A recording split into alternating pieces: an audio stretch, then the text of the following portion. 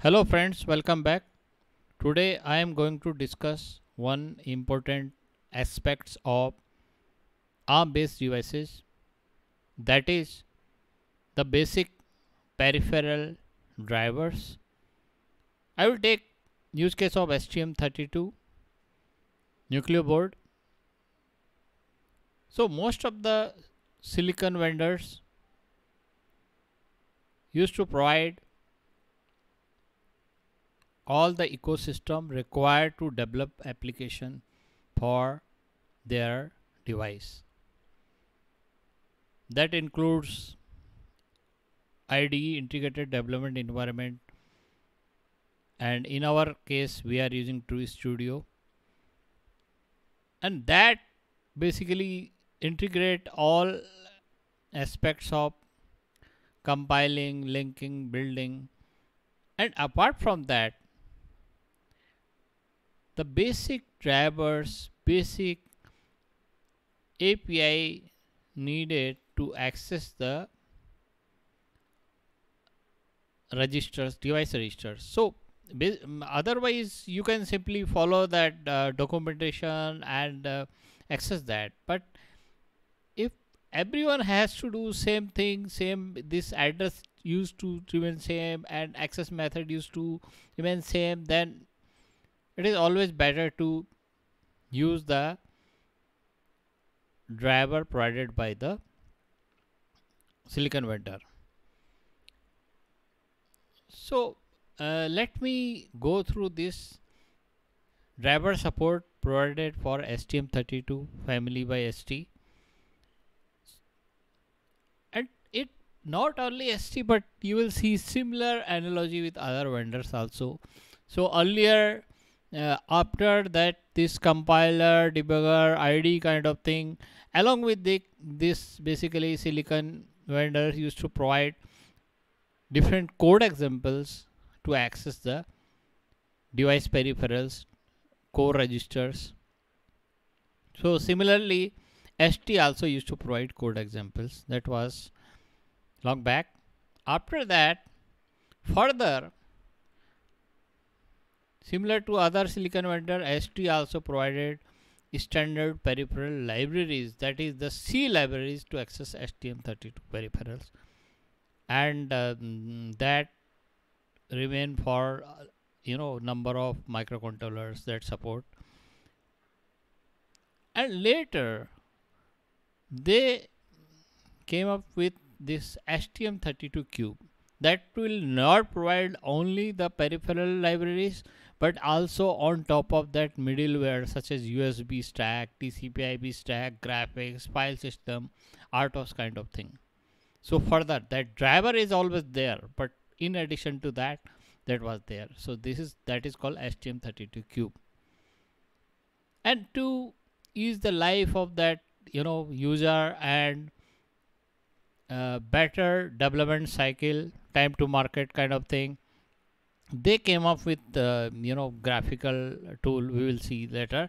And this particular STM32Cube is divided into two part.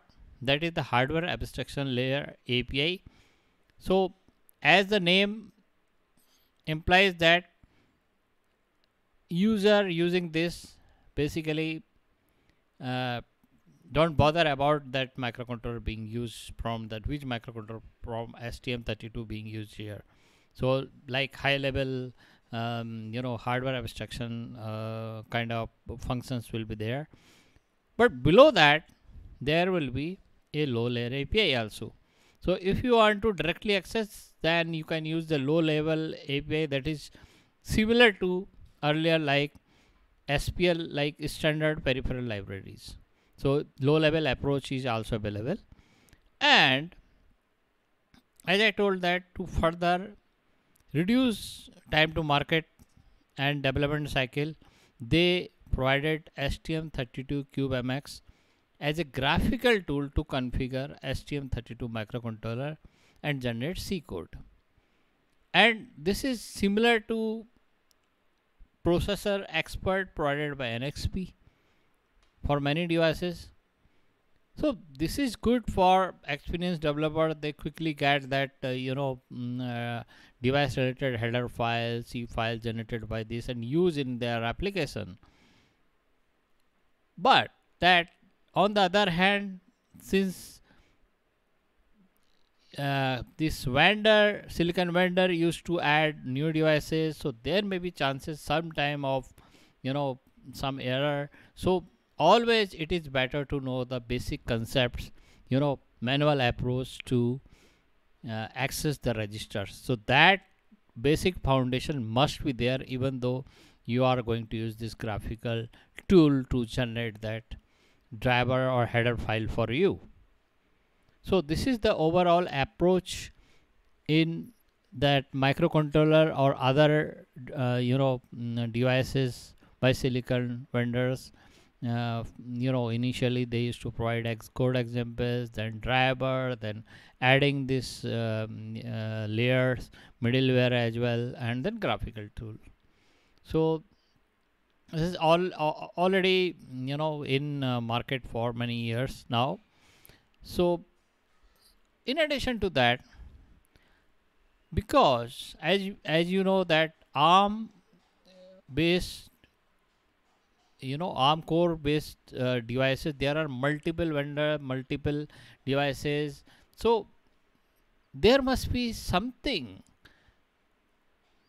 some standard which everyone should follow so that it helps in portability from one vendor to another vendor and within one vendor like one uh, revision to another revision. So for that region so any industry standard is there for designing the ARM microcontroller bare metal device driver. Yes, it is there. So that is called Cortex Microcontroller Software Interface Standard. That is CMSIS. CMSIS. Okay. So this standard and this is a framework to integrate third party software. Okay. If any software is compliant to the CM, uh, CMSIS then you can easily use it in your device. So why it was needed by the way to standardize software interfaces among all Cortex-M silicon vendor products. Number one and to provide a common approach for software interfaces among peripheral access for example RTOS, DSP or middleware uh, you know the common approach. So USB stack written for one particular vendor should work on the other also if it is CM uh, compliant. I mean, um, if there are some exceptions, then those has to be taken care. But most of the things should work. Okay, so mm, that helps, and also this helps in software reuse in migrating from one silicon version to another, or also from one vendor to another. So this is the what is the way this CMSIS? Let's see. To understand, let's divide that embedded software to four layers. Application layer top where your actual application is there. And then middleware like USB, graphics, file system, RTOS, whatever you use from application to middleware. Then middleware will use the graphical, you know, uh, device peripheral access layer or mm, uh, drivers, um, HAL, you know, uh, hardware abstraction layer. It will use to access basically device and core register. So please note device here is like within the device, within the SOC, suppose USB module is there, so USB register.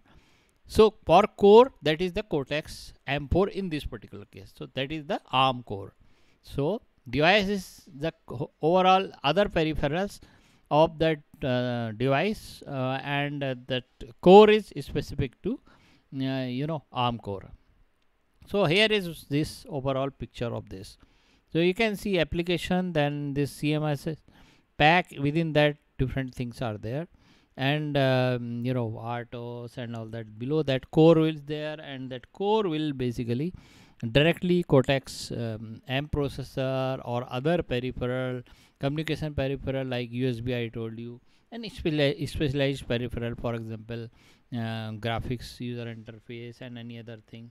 And this is the debugger related thing third party debugger uh, through this um, system view description file how that uh, you know it should show that and then the debug access port will be there and directly uh, accessing the uh, different peripheral through this debugger third party debugger so this is separate thing and this is the overall uh, scenario of uh, ARM based microcontroller so next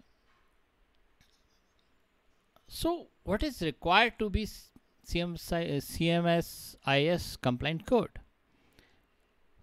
So it means that some of the essential rules convention you have to follow. Simply ANSI C related whatever the standard and uh, data types everything related to ANSI C and variables parameters have a complete data type and uh, expression for define constant and additionally recommend following convention for identifier. Capital names to identify core registers peripheral registers and cpu instructions. And this camel case names to identify function names and interfunction. And namespace prefixes avoids classes with uh, you know user identifier and provide functional group. So basically some convention for data type and um, you know identifier and how to write those register definitions and as well as documentation how to document it. So that everything should be followed to make it CMSIS compliant code. Okay so I will show you that in this particular case. Let's look into whenever you create a project default project simple default project using this um, you know uh, particular um, true studio. So in this case I created one test debug uh, project. In that you will see the drivers. Then here is the CMSIS uh, driver and here the device file. Directly it will access the st device file within the st folder. You will see that this particular file is the first one which will be used in the main file. If you open the source and from the main if you see the link this particular file is here.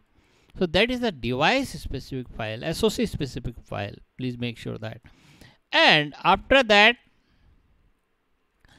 this device also there should be some there is one variable which decide basically whether you are going to use mm, HCL or you are going to directly access that um, you know particular uh, uh, register. Um, so whether you are going to HAL driver and if you find try to find out HAL should be there somewhere and uh, that is the hardware abstraction layer. Okay so that is the use HAL driver. If you define this then basically it it will use the HAL driver. And what are the HAL driver? Those will be generated by uh, you know tool graphical tool. Here you can see in the readme you can check here. Then HAL driver. So so once the generated driver has to be copied in this particular folder. If you are not using that you are using the normal driver um, provided with this then probably um, i mean you can use these two. That is this is core specific. For example if you see in our case cm4 so you will see the core specific you know different definitions here. You see this this is the CMSIS compliant code. So um, uh, you can see the kind of macros and names specific convention in the name you know. So that is what basically being followed by uh, other vendors also. For example you know this uh, particular bit uh, position and register definition uh, so those kind of thing uh, mm, so that is uh, what it is part of the CMSIS. Even the name of that particular um, uh, name and uh, of the registers and as well as the um, complete you know typedef struct. So this is what called the core specific and then you have device specific layer and or otherwise you can use this thing uh, HCL driver if you are going to use the graphically um, uh, you know generated code.